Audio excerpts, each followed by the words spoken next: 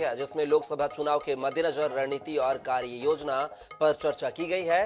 बैठक में CM Vishnu Deo Sai deputy CM Vijay Sharma, प्रदेश अध्यक्ष भाजपा किरण सिंह देव के साथ मोर्चा और प्रकोष्ठों के पदाधिकारियों ने हिस्सा लिया। राष्ट्रीय सह संगठन मंत्री शिव प्रकाश ने सभी नेताओं से विमर्श किया। उप मुख्यमंत्री अरुण साव ने बताया है कि बैठक में विकसित भारत संकल्प यात्रा को सफल बनाने की बातचीत की गई है। वहीं प्रदेश में लोकसभा की सभी 11 की 11 सीटों पर जीत हासिल करने को लेकर रणनीति बनाई गई है।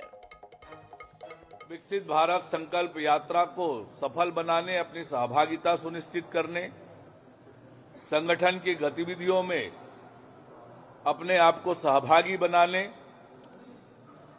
और लोकसभा चुनाव में पार्टी 11 की 11 लोकसभा सीटें जीते, इसको लेकर चर्चा की है।